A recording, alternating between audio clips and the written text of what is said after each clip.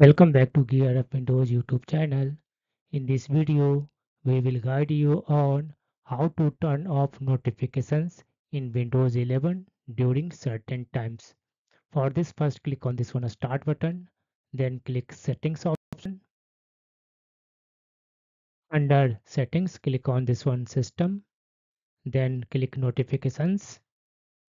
Here, click on this one option, turn on do not disturb automatically then check this one option during these hours. Now click on turn on time and select a time and then click on this one tick mark. Then for turn off time click on this one option and set a time and then click on this one tick mark. And under drop down menu of repeat you can select daily weekends or weekdays. After that close the settings app.